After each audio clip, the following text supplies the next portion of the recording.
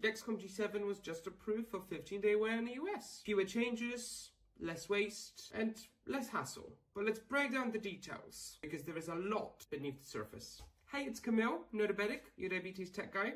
I've been living with type 1 diabetes for nearly 15 years, and I've been YouTubing for eight, covering all of the most important things around diabetes tech. If you want more videos, make sure you subscribe down below. I would love to have you join the community. Until now, Dexcom G7 sensors in the US are approved for 10 and a half days. With this new 15-day approval, you will only need two sensors per month instead of three. Less changes, more convenient, less waste. What does this mean in practice? Well, it's the same system, no finger prick, same wearable, the same app, the same receiver, continues to be integrated with insulin pumps, just the sensor will last for additional five days. Dexcom says 15-day G7 will begin rollout later this year.